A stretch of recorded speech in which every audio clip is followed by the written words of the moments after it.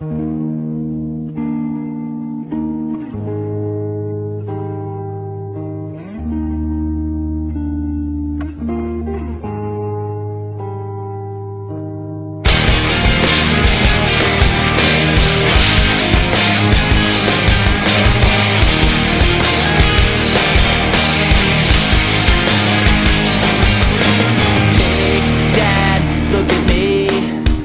Think back and talk to me. Did I grow up according to